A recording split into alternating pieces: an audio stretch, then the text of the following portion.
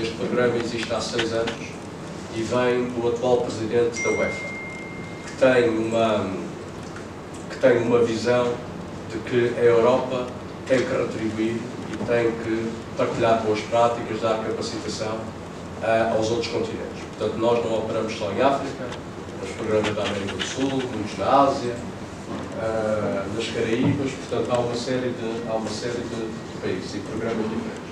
Porque também nos interessa a nós passar mensagens, deixar legado, porque é importante que o futebol continue a crescer e não fique dependente de uma, duas, três pessoas, que essas pessoas mais novas que agarrem essas oportunidades. Eh, e a Federação Cabo Verde de Futebol também concorreu para esse programa.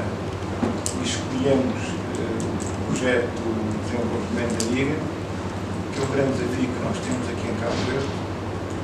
É um país com as características que temos e com dificuldades que temos nas pontes e outras, com limitações financeiras que temos, portanto, penso que eh, esse é um grande desafio que nós temos. Prontos para servir para servir o local. O programa concreto, portanto, o grande desafio é Liga, portanto, desenvolvimento de Liga, que é o projeto, portanto, como pessoas lembra, e há muito que me tem procurado todo um melhor formato de campeonato nacional eh, e precisamente no ali com os consultores e que também com presença de todas as associações e clubes de todas as regiões desportivas, para junto, portanto, no discute e no olha que será a melhor resposta para aquele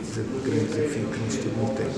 Um desafio de um país que é formado para ilhas, de um país em que tem dificuldades enormes a nível de transportes, eh, que isso torna custos, eh, sobretudo custos para uma federação e para que, de facto, eh, tem grande limitação financeira. Portanto, por isso que tem que trabalha tudo para a melhor forma que tem, procura minimizar todas as dificuldades que tem, transporte, financeiro e, e outros.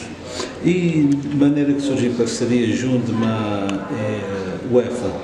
Não, portanto, foi na, de contacto que não fazia e na busca de, de soluções, eh, onde que a deslocação que me fazia a Portugal e na âmbito de criação de união das federações lusófonas.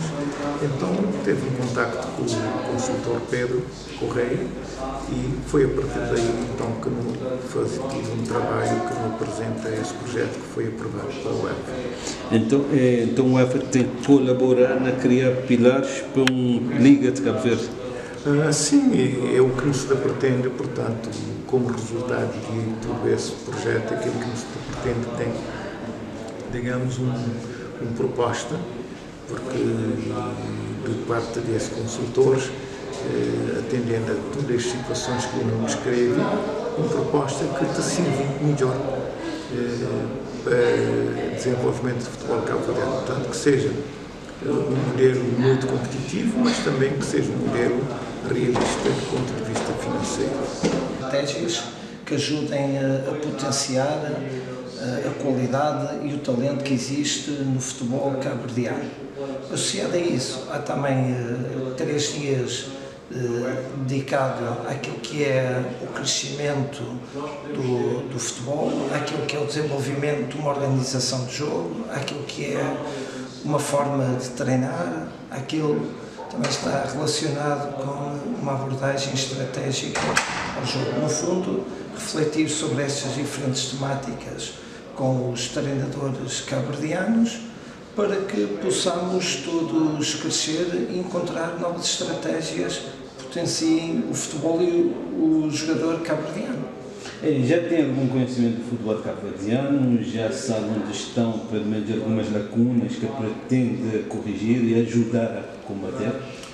Foram identificados através de alguns inquéritos realizados no, no âmbito do programa UEFA Assist, onde desde já destaco a excelente colaboração por todos os diferentes intervenientes no fenómeno desportivo, naquilo que é o ecossistema do futebol, uh, colaboraram, portanto agradeço. Identificamos alguns aspectos nos quais um, se destaca que é a continuidade da formação dos treinadores porque estes trabalham com talento e eles próprios têm que ter o máximo de capacidades, conhecimento e até talento para potenciar o talento do jogador. Nessa perspectiva, este é, uma, é um dos aspectos que nos foi uh, solicitado para darmos colaboração, identificaram-se outros, como a melhoria da própria liga, e, eh, e uh, aquele também está relacionado com aquilo que é o desenvolvimento do futebol de base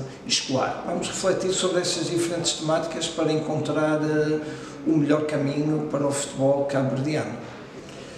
O que é bom destacar é que isto é um trabalho de, de equipa, um conceito de família, onde nós tínhamos a possibilidade de refletir de uma forma aberta para encontrarmos uh, soluções e planos de desenvolvimento que permitam, passo a passo, de uma forma consistente e sólida, ter uh, um futuro com mais risonho, com mais qualidade e de maior confiança.